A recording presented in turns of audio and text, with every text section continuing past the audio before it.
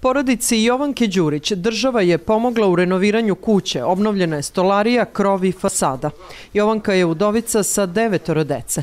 Predsednik kaže da država pokušava da pomogne na razne načine siromašnim građanima. Želim samo da kažem da pošto sam već upoznao porodicu i znam svakog njenog člana da su divni ljudi, divna deca i bar deo snova im prepoznajem ko bi hteo u policiju da radi, ko bi da postane futbaler, a ko još ne zna pa se dvoumi, ali nas deca mogu da spasu i oni su budućnost, a bez dece i sve što radimo i sve što gradimo nema baš previše smisla. Ako nas zaista za 50 godina bude manje od 5 miliona, onda se postavlja pitanja za koga smo i gradili puteve, za koga smo gradili bolnice i sve drugo.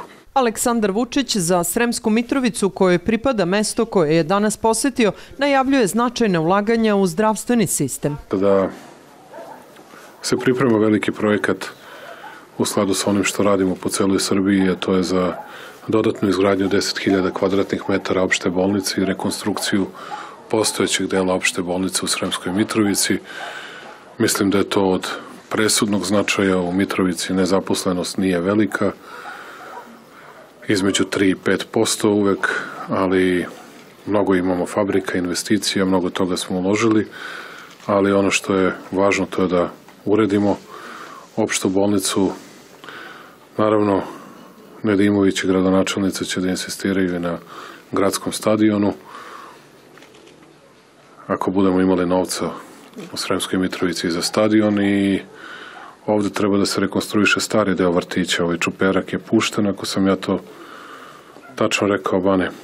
A, trebalo bi ovaj stari deo da se rekonstruiše, dobro, i da se završi. Predsednik kaže da je dosta urađeno za Sremsku Mitrovicu i da je ovde nezaposlenost svega 3%. Najavljuje i da postoji mogućnost za izgradnju gradskog stadiona u Sremskoj Mitrovici, a slede i rekonstrukcije vrtića.